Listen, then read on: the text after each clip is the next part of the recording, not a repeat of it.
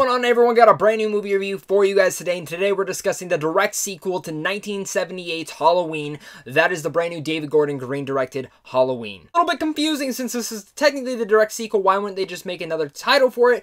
Whatever, I guess that'll bug me when I get it on Blu-ray because let me tell you, I absolutely enjoyed the hell out of this movie. It's a non-stop thrill ride with tons of fun, tons of jump scares, but the nice amount of jump scares in there and a nice amount of tension.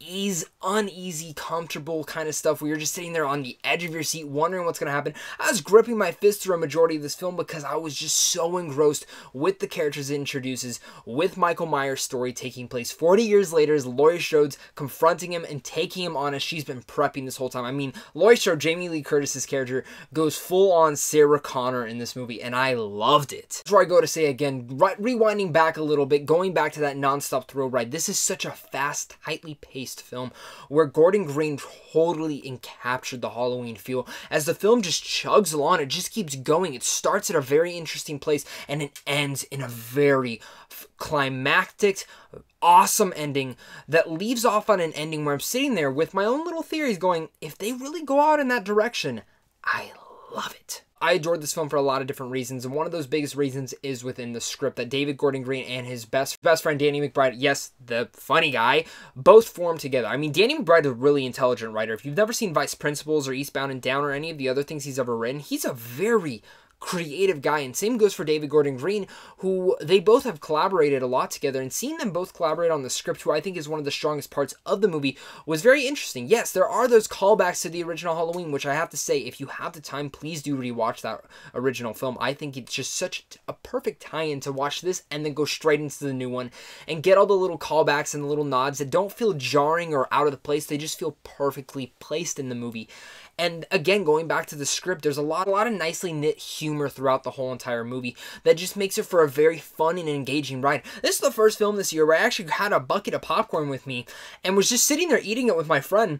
And we're sitting there watching the movie, eating the popcorn, and by the end of the movie, the popcorn was gone. I, I was totally out of popcorn. I was like, oh my god. I was like so engrossed with this movie, having such a blast watching it and I was jumping out of my seat. I was engaged with the movie. I was having so much fun. I was laughing. I was getting into the depth of the film, and uh, that is just totally down to the writing and the directing that Gordon Green crafted throughout this movie such a claim to him within this. Some of the cinematography, the long shots, the one take shots, the sh the panning shots are just so in sync with the whole entire tone of the movie, but also the feel of the movie. This is one of the first Halloween sequels that actually does feel like a Halloween sequel. It feels like Carpenter really was there crafting this movie with Gordon Green, and I get it. He did sign off on this film, and he does do the score, which my god, that score, I will go as far as to say, is probably better than the original. It's, it has a lot of the same tones as the original, but there's a couple other noted keys in there that he does play throughout the movie that just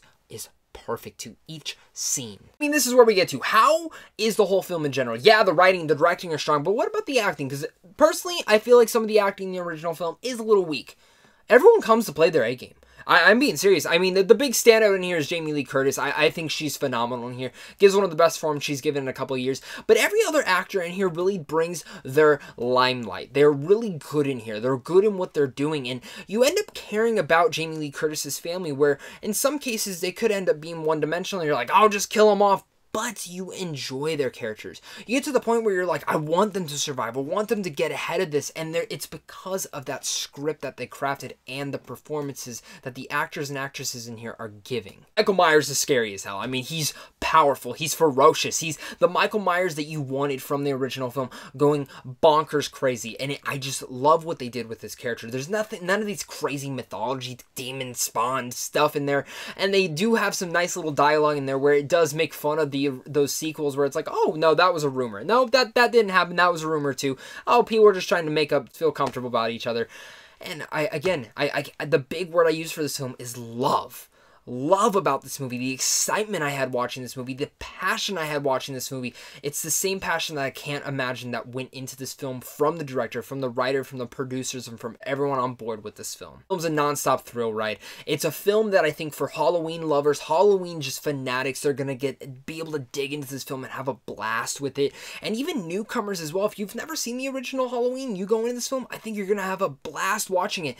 For me, I think this is the perfect film. It's the callback to slasher films, and I want them to come back. It's a great film with such great passion behind it, and it's just an utter blast to watch. I not recommend getting all your great friends together, going out to the theater, sitting down, and watching this film in the biggest audience that you can because man, my audience just ate this film up just as much as I did. So with all that said, I'm gonna give Halloween an A minus. Still don't know what to call it. Should I call it Halloween 2018? Should I call it Halloween 2? I don't know it's kind of confusing. I'm just going to go with Halloween 2018. Tell me, guys, what are your guys' thoughts on the new Halloween film? Have you guys seen it yet? Are you excited for it? Let's talk about it down below. Plus, tell me, have you guys seen the original 1978 version? Is that your favorite version, or do you actually prefer the Rob Zombie or the other sequels? Let's discuss it down below in the comments. Can't wait to talk with you guys about this movie. Of course, guys, if you guys are new here, hit up Sandwich John Films also down below, because if you guys want to see movies early, that's where you can check it out. You can also check out some movie news and even some movie reviews over there as well. Again, guys, happy Halloween. I can't wait to watch this film again. Uh, I'm going, planning on going on Halloween night because I've never been able to do this with a Halloween movie before. But guys, until next time, stay classy.